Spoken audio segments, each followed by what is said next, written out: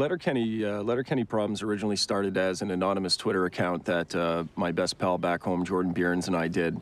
Uh, we called it Listy Problems uh, from our hometown in Listowel. It was uh, just, uh, we, we just basically tweet problems that people in our small town would have. It was an, an, an, embellishment, you know, a joke. And one time I was reading back through them and I, and I, I called him and I said, listen, I think I could shoot this and, and it would be pretty funny, but we'd have to, we'd have to blow our cover. I bet you got a handful of names for your own horn, don't you, bud? You smell like nachos and you look stoned. You write Taylor Swift lyrics and birthday cards. You prefer kittens and you kiss babies. You're fucking 10 ply, bud. Fellas. That was some of the finest tripping I've ever received. Ever. Oh, yeah? Did we get her done? Just kidding, we don't give a fuck. Keep away from my sisters. Montefiore and O'Sullivan are heads of a new production company called New Metric Media.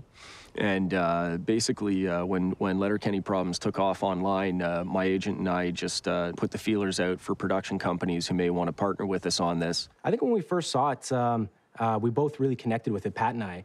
Um, we knew that there was something there, there's something special about it, uh, and that it should be a TV show. First time we saw the videos, I think there was less than 500,000 hits at that point uh, for all the videos. Um, and now there's over 10 million. We realized that it could make a good TV show from the outset. I think you get a gut reaction first and foremost, and then you start to analyze it, and you look into it, and you say, what makes it special and unique, and really what makes it unique and what could make it a show that, that could resonate with more people is the authenticity that Jared brings to it. We got to put the damage you're doing around Letterkenny to bed.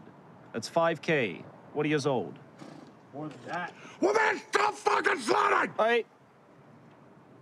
We're gonna call it 5K. You know, it's quite clear that it's it's his life. He's showing it. it it's hard to find that voice, and Jared hasn't. So we thought that it could be a TV series from the get-go. Motoring was a word that we used when talking about our buddies making out when they were Yeah. French and stuff. Oh, fucking, they were motoring. Holy fuck.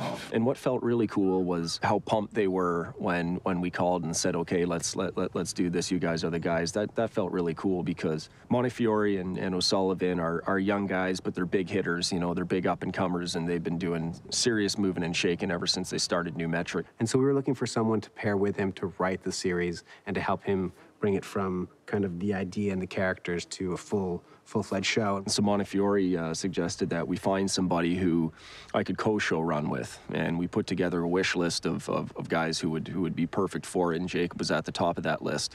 Got to two weeks later at the at the famous Letterkenny River. Wayne, Daryl, and Dan are now in a rowboat in the middle of the river. Dan and Daryl have the oars. Can't row for shit. Wayne is a beer and a cigarette. They got along really well. It's a great way for the two of them to work because Jacob can do story and logic and character, and Jared can do what he does best, which is uh, the voice of these characters and the, the dialogue. Give your balls a tug, you tit fucker! Got the right time, Shoresy. I got involved with Letterkenny when uh, the folks at New Metric uh, sent me over the stuff and asked me if I would be interested in meeting with Jared to talk about it. And uh, and I loved the YouTube videos. I thought they were hilarious.